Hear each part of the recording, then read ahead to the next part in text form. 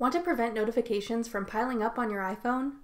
I'm Jessica from TechBoomers.com and in this video I'll be showing you how to hide notifications on iPhone.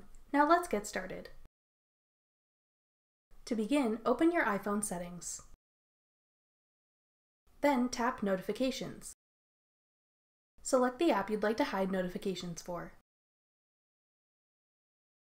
If you want to disallow notifications for this app altogether, tap the switch at the top to disallow notifications.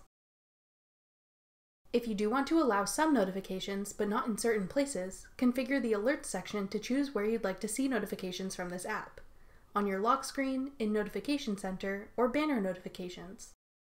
Below, you can also allow or disallow badge notifications, which are the numbered circles that sit on the corner of an app icon.